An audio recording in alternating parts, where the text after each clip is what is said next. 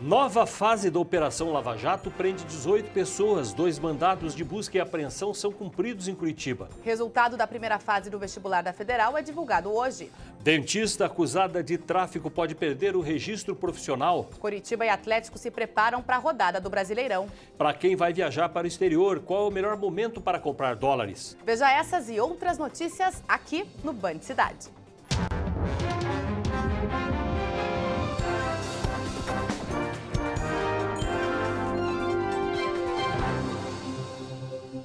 Boa noite para você. 18 pessoas foram presas hoje na sétima fase da Operação Lava Jato. Em Curitiba, o empresário é considerado foragido. Vamos ao vivo ao aeroporto Afonso Pena conversar com o repórter Douglas Santucci.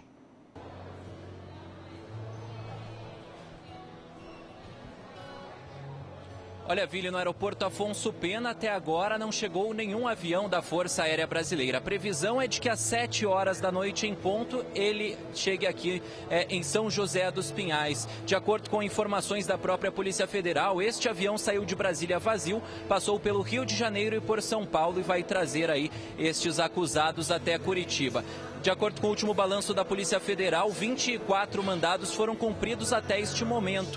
E agora a gente acompanha aqui em Curitiba, um dos mandados ainda está em aberto, é de um empresário da empresa IESA, na região metropolitana de Curitiba, em Pinhais. Hoje pela manhã, a Polícia Federal fez uma coletiva onde deu mais detalhes destes casos. Dois mandados de busca e apreensão foram cumpridos em Curitiba e Pinhais, na região metropolitana. Um mandado de prisão temporária está em aberto. A Polícia Federal não conseguiu localizar o empresário Valdir Lima Carreiro, presidente da IESA Óleo e Gás, que atua na área de construção no mercado de petróleo.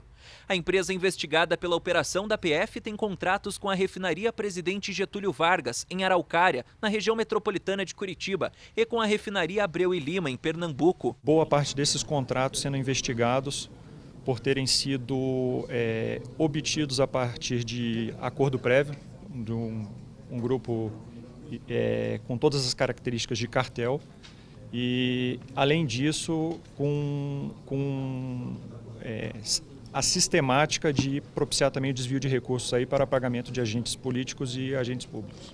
Os presos vão ficar detidos na Polícia Federal em Curitiba, onde está preso desde março o doleiro Alberto Youssef, acusado de comandar o esquema. O ex-diretor da Petrobras, Paulo Roberto Costa, também ficou preso na capital paranaense, mas atualmente cumpre prisão domiciliar no Rio de Janeiro. Estamos produzindo provas que encerram a fase da análise da diretoria de abastecimento e agora estamos analisando a diretoria de serviços. Operação Lava Jato que começou, vai fazer oito meses na próxima semana. Começou pontual, mas vai se ampliando, né, Vili? Com as investigações, com novas informações, vamos entender a notícia. O que acontece? São grupos envolvendo grandes empresas que fazem empreendimentos para o governo, fazem obras para o governo e aí tem gente dentro do próprio governo que, para levantar dinheiro para fazer campanhas eleitorais, o PT e o PMDB são os mais citados, fazem esquemas para facilitar para que essas empresas ganhem e dessa forma eles também levam parte do dinheiro. Quem perde? Todos nós. Empobrecimento do país, um crime contra a Petrobras e contra o Brasil. A dentista curitibana presa nesta semana, suspeita de tráfico de drogas e armas, pode ter o registro cassado pelo Conselho Regional de Odontologia. A dentista Marina Stresser de Oliveira, de 26 anos, presa nesta semana em Curitiba, já foi encaminhada ao sistema penitenciário do Paraná. Ela é suspeita de tráfico de drogas. A acusada se formou em odontologia em uma universidade particular, mas também fez curso de tiro e tinha intimidade com armas. Ela também estava à frente de uma ONG de proteção animal. Nas redes sociais, a loira fazia questão de ser fotografada. A Polícia Civil investiga a possibilidade da dentista ter ocupado o lugar do namorado por tráfico de drogas. A prisão dele ocorreu no ano passado e foi feita pela Polícia Federal. Na ocasião, ele foi detido com 6,5 kg de crack. O Conselho Regional de Odontologia do Paraná pode suspender o registro da dentista após o término das investigações. Paranaenses que têm viagens marcadas para o exterior tem uma dúvida: comprar dólar agora ou esperar mudanças na economia? Tânia está com a viagem comprada para o Panamá e embarca começo de dezembro. Ela comprou o dólar há cerca de um mês e meio com cotação de 2,32. Hoje, para evitar comprar a moeda ainda mais caro, ela veio para a casa de câmbio. A cotação estava 2,32 e agora foi para 2,76. Então eu estou sentindo, cada vez eu estou comprando menos. Então tem que ser bem aos poucos para quando chegar a viagem ter uma, uma quantia razoável. E quem já fechou a viagem para final de ano no exterior deve se mexer para comprar a moeda estrangeira. Houve uma alta de cerca de 18,5% no dólar, chegando a R$ 2,76 para venda no turismo. De acordo com esse gerente da Casa de Câmbio, a tendência é que a alta continue por causa da instabilidade política e financeira do país. E o dólar vai só acompanhando e vai estressando o mercado. Então, um dólar de 2,20 comercial, 2,30 no turismo, a dois meses e meio atrás. Hoje nós estamos trabalhando com dólar de 2,62 no comercial, exportação e importação, e o dólar turismo a 2,75 devido ao momento incerto de nossa economia. A expectativa do mercado é que o nome do novo ministro da Fazenda seja anunciado na semana que vem, após o retorno da presidente Dilma da reunião do G20 na Austrália. Mesmo assim, a orientação é que os viajantes comprem ao menos uma parte da moeda estrangeira que irão levar, já que após o anúncio o dólar pode baixar ou voltar a subir. A indicação para quem vai precisar do euro é a mesma, já que a capitalização dessa moeda é cotada pelo dólar e multiplicada por 25%. As pessoas que vão viajar ao exterior procurem fazer as suas compras, talvez parciais, para fazer um preço médio, né? porque a tendência para frente é muito incerta. O resultado da primeira fase do vestibular da Universidade Federal do Paraná foi divulgado hoje. O anúncio aconteceu 10 dias antes do que estava previsto. One, two, three, let's go! Com chuva, a música serviu para aliviar o nervosismo antes da divulgação do resultado. Pouco depois das duas da tarde, foram as lágrimas que molharam muitos rostos. Alguns comemoraram a classificação para a segunda fase do vestibular, que acontece nos dias 30 de novembro e 1 de dezembro. Cerca de 57 mil candidatos disputam 4.830 vagas em 117 cursos. Cerca de 80 roubos estão sendo registrados por dia em Curitiba. Esse tipo de crime aumentou quase 16% nos primeiros nove meses deste ano, na comparação com o ano passado. O senhor já foi assaltado? Já, já fui assaltado na Praça Tiradentes. Conhece alguém que foi assaltado? Amigos meus já. Foi assaltado na, na porta do carro o com que arma. O que roubaram dele? Roubaram o celular. O aumento do crime de roubo em Curitiba em 15% foi quase o dobro da média de crescimento no estado, de 7,1%. Os dados foram divulgados pela Secretaria de Estado de Segurança Pública do Paraná. Os números impressionam. Do início do ano até setembro, foram registrados 22.594 casos de roubo, somente na capital do Paraná. Isso significa 85 casos por dia é sempre uma busca através da estatística, do serviço de inteligência, da, de todo esse aparato que a Secretaria de Segurança, que a Polícia Militar possui, para poder trazer ao cidadão uma segurança de qualidade. Por outro lado, a quantidade de furtos na capital, que consiste em apropriar-se de um bem alheio sem violência, manteve-se estável e o aumento não chegou a 1%. A Polícia Militar trabalha dentro das cidades, nas rodovias, nas matas e a gente não pode abandonar nenhuma frente. Estamos trabalhando em todas as frentes, mas quando uma prioridade é dada, as estratégias são dadas para aquela prioridade. Como aconteceu com o repórter Bruno Henrique, infelizmente é difícil a gente conhecer alguém hoje que não tenha sido assaltado ou que não conheça quem já tenha sido vítima desse crime, né, Vini? Por uma razão bastante simples. Antigamente o ladrão chegava e levava o carro com facilidade, era simples.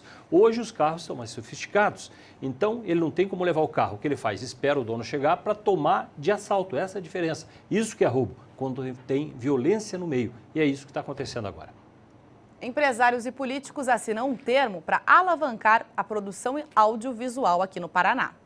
Guto trabalha no ramo de audiovisual em Curitiba. Para o diretor de cinema, este é um momento de crescimento do setor. Por isso, também é um momento de vencer as dificuldades com a união dos empresários. Hoje os recursos eles já estão existindo. Claro que não, não, não é ainda o ideal, mas já é um montante considerável, principalmente no Fundo Setorial do Audiovisual. Nesse momento tem 1 bilhão e 200 milhões disponíveis para fomentar a cadeia produtiva do audiovisual brasileiro.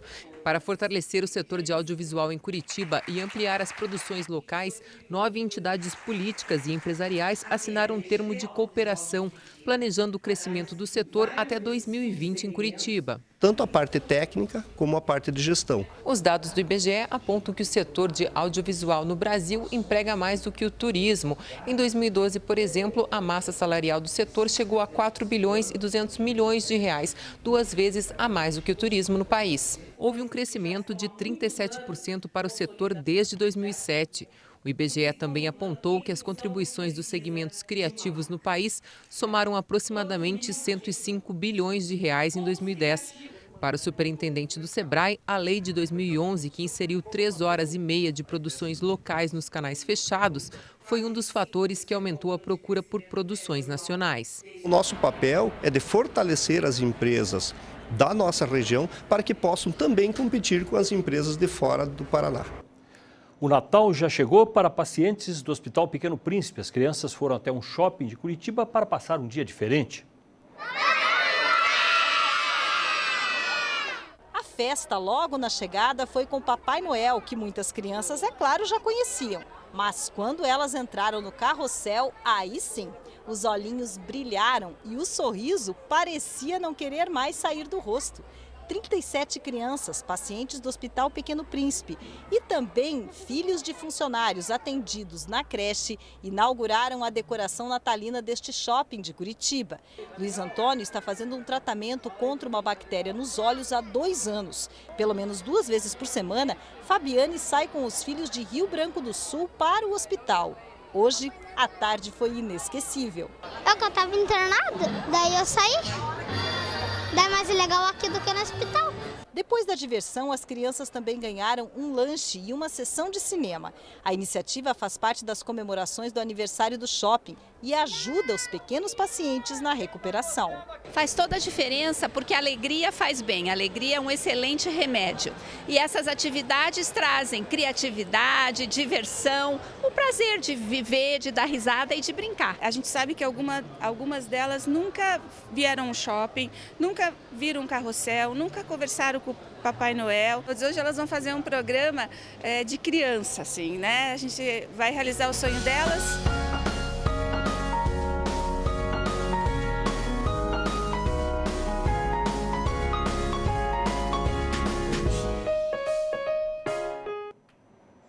a inclusão pela dança. Crianças com deficiência participam de um festival aqui em Curitiba. 220 bailarinos de 17 escolas municipais participaram nesta sexta-feira do Festival de Dança de Curitiba. Moisés tem deficiência intelectual e, através da dança, se sente mais integrado à sociedade. Primeira vez, então adorei dançar junto com as outras escolas. O diferencial nessa edição do festival é que o Festival de Dança Adaptado, que é feito por apresentações de alunos com deficiência, foi incluído no calendário. Para a secretária dos Direitos da Pessoa com Deficiência do município, esta inclusão representa um grande avanço social. Estava muito acostumado a ter eventos específicos para a pessoa com deficiência. Isso acaba sendo uma segregação. A gente não tem que ter espaços separados para pessoa com deficiência e para pessoa sem deficiência. A gente tem que privilegiar a convivência de todos. Para a professora que ajudou a montar a coreografia e ensaiar os alunos da Escola Primavera, trabalhar com alunos especiais é muito gratificante. Ela acredita que pequenas adaptações nos espetáculos mostram que todos podem participar e respeitar as individualidades de cada um. O trabalho com a dança é um trabalho muito satisfatório, porque eles amam música, eles amam dançar. Então é mais questão assim, só de orientar, fazer uma coreografia que todos possam acompanhar. E eles adoram essa festa que tem aqui. E daqui a pouco, ONGs e instituições filantrópicas vão receber 3 milhões de reais para ajudar crianças em Curitiba. E mais, veja a preparação da dupla Atletiba para a rodada do Brasileirão.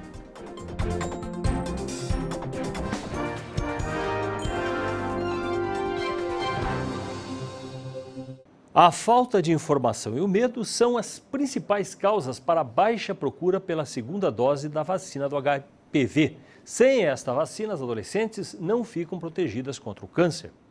Cláudia está com a consciência tranquila. A funcionária pública já levou a filha de 14 anos para receber a segunda dose da vacina do HPV. Conversei bastante, falei para ela da importância da vacina, por ser uma vacina que previne a transmissão de doenças sexuais, apesar dela ser uma, muito nova, né, uma adolescente, mas a gente tem que acompanhar e, e, e, conversar sobre esses assuntos. O problema, segundo o Ministério da Saúde, é que menos de 19% das jovens de 11 a 13 anos que receberam a primeira dose voltaram para a segunda. Em Curitiba, por exemplo, das quase 32 mil adolescentes vacinadas em março, apenas 30% procuraram as unidades de saúde para a segunda dose, disponível desde setembro. A terceira e última etapa é só daqui a cinco anos. A vacina protege contra quatro subtipos do HPV. Dois são responsáveis por 70% dos casos de câncer de colo de útero no mundo. Mas a imunização só é completa com as três doses. Agora é o momento de, de tomar todas as doses da vacina. Então a gente pede que todas as meninas que tomaram a primeira dose façam a segunda dose nas unidades de saúde. Quem completou 11 anos agora ainda pode começar o esquema. Então todas as meninas podem ainda, além de tomar a segunda dose, iniciar a primeira dose. Veja agora como será o tempo no fim de semana. O sol só aparece na segunda-feira. As transformações no céu, o movimento das nuvens. Após uma semana de sol e muito calor, as temperaturas que chegaram aos 28 graus durante toda a semana. Nesta sexta-feira, a máxima nem chegou perto de tudo isso. Curitiba está assim, ó, pessoal com blusa, mas o principal objeto nas mãos. Empresta aqui, porque está chovendo. Sim, Vou deixar o senhor na chuva. O senhor vende quantos guarda-chuvas por dia aqui na região central? 30, 40, dependendo do dia que São Pedro possa olhar com bons olhos o senhor? Eu quero que Pedrão derrame água, amigo. Quanto mais água, melhor. Se para o curitibano o tempo pegou muita gente de surpresa, Imagina para os turistas. A gente veio para cá, precisou comprar moletom, pegar guarda-chuva emprestado, pegar tênis emprestado. Áreas de chuva se desenvolveram em diversas regiões do estado. No leste, as nuvens predominam e chove de forma fraca e intermitente. As temperaturas não deverão subir muito, é, devido a uma massa de ar frio que chegou ao estado. Então, deveremos ter aí temperaturas bem amenas ao amanhecer e no decorrer do dia, essas temperaturas aqui na capital não passando dos 23 graus no decorrer do final de semana. No CIMEPAR, a parte do mapa ainda indica instabilidade para este fim de semana o sol só deve aparecer a partir de segunda-feira. Muda a partir do, da segunda-feira, já teremos o sol predominando com maior intensidade aqui na, na capital, região metropolitana, no leste do estado como um todo. Então as temperaturas já sobem mais, já deveremos ter aí um começo de semana com temperaturas é, mais agradáveis daqui no leste do estado.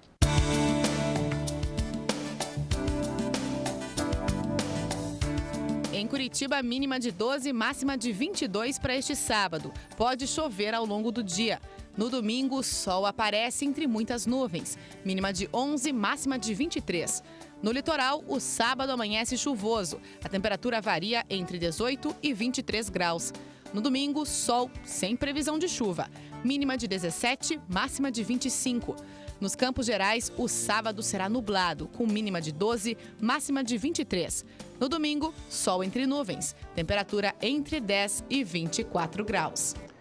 E no futebol, veja a preparação da dupla Atletiba para esta rodada do Campeonato Brasileiro. Em nono lugar no campeonato, com 46 pontos, o Atlético recebe o esporte domingo às 5 da tarde na Arena da Baixada. Para este jogo, o técnico Claudinei Oliveira vai manter a mesma equipe que derrotou o Botafogo. O time deve entrar em campo com Weverton, Suellington, Gustavo, Kleberson e Natanael, David, Paulinho Dias, Badi e Marcos Guilherme, Cléo e Marcelo. No mesmo horário, o Coritiba enfrenta o Flamengo no Maracanã. O técnico Marquinhos Santos vai esperar a escalação do Flamengo para divulgar o time que entra em campo. O que está definido é a entrada do zagueiro Bonfim no lugar de Wellington, que não pode jogar por restrições contratuais com o Flamengo. O Coritiba é o 15º colocado com 37 pontos, três a mais que o Vitória, primeiro time dentro da zona de rebaixamento. ONGs e instituições filantrópicas aqui do Paraná vão receber 3 milhões de reais de programa socioambiental. Em Curitiba, projetos vão ajudar muitas crianças. A unidade fica no Boqueirão e atende hoje 22 crianças carentes com idade entre 6 e 14 anos. Daiana conta que no ano passado eles participaram de uma seleção pública e a ideia de juntar brinquedos e livros deu certo. Hoje a instituição ela é, se mantém com recursos de parceiros, de doações de pessoas físicas, pessoas jurídicas, editais, né, convênios. Então a gente precisa realmente desses parceiros para continuar a nossa missão né, de, de promover a vida, de promover a dignidade humana para as comunidades onde atuamos. O programa Petrobras Socioambiental destina verbas para que projetos como este possam ser concretizados. E a cada dois anos, novas instituições são beneficiadas. A ação é voltada a instituições do terceiro setor, como ONGs, por exemplo. No Paraná, o programa existe desde 2008. Nessa edição, serão liberados 3 milhões de reais para a realização de 11 projetos. Uma das instituições é essa. Aqui, as crianças fazem pelo menos uma refeição. Emily, como é que tá o lanchinho aí? Gostoso. E logo que houver o repasse, outras atividades serão implantadas. Nós vamos reabrir uma unidade no Tatuquara para atender mais 60 crianças que nós tínhamos fechado por falta de parceria né, para a execução do projeto. E aí vamos ampliar, vamos incluir algumas oficinas de atividades de música, de arte e, e inclusão digital.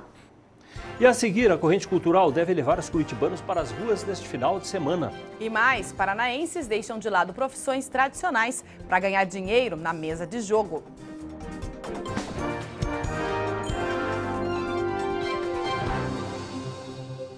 Tem curitibanos deixando de lado profissões tradicionais para ganhar dinheiro na mesa de jogo.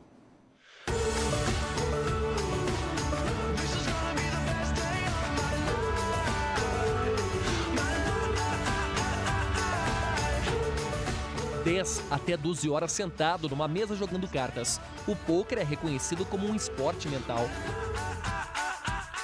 A mesa se transforma no local de trabalho. Gente como Daniel começou jogando de brincadeira, trocou o emprego como professor pelo baralho. Depois de um tempo jogando que eu comecei a perceber que o jogo tinha toda uma parte estratégica, uma parte matemática envolvida. Além de jogando, eu tenho alguns outros investimentos, mas todos na área do poker. Então, praticamente a minha renda maior, boa parte da minha renda vem disso daí. Como ainda não há campeonatos todas as semanas no Brasil, a rotina diária se dá na frente de um computador disputando torneios online que paga premiação em dinheiro. Quando aparecem competições, é difícil ficar de fora. Eu não acredito muito naquele negócio de dom, o cara ter o dom para jogar. Eu nunca acreditei nisso. Eu acredito em disciplina, acredito em estudo, eu acredito no cara sentar, estudar, ler, pesquisar, discutir mãos com os amigos. Ah, por que você jogou assim? Não teria sido melhor você jogar de uma outra maneira? Então eu acho que a partir do momento que o cara é disciplinado e o cara é dedicado, não tem como dar errado. Tudo parece muito bonito, mas é preciso pensar bem antes de jogar as fichas. O bom jogador é aquele que pratica, né? É, ele tem que estudar, ele tem que é, se aprofundar, porque são, é, o jogo é um esporte da mente, né? Então você tem que trabalhar é, com, com o tempo, a experiência vai tornar um bom jogador. Confira agora a agenda cultural para o fim de semana.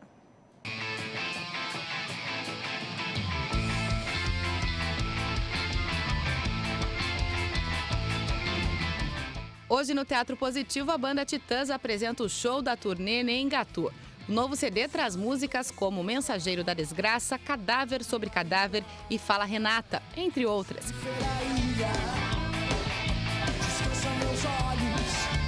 O show começa às 9h15 da noite. Os ingressos custam de R$ 65 a 260 reais. Quem retorna a Curitiba é o cantor Thiago York com o show Voz Mais Violão 2014. A apresentação é domingo, às 8 da noite, no Teatro Positivo. A entrada custa 100 reais a inteira e 50 a meia. Se acaso você chegasse no meu chateau me encontrasse.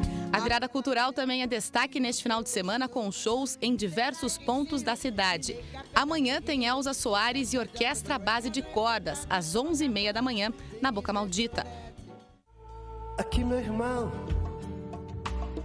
João Bosco se apresenta a uma da tarde no palco da Riachuelo.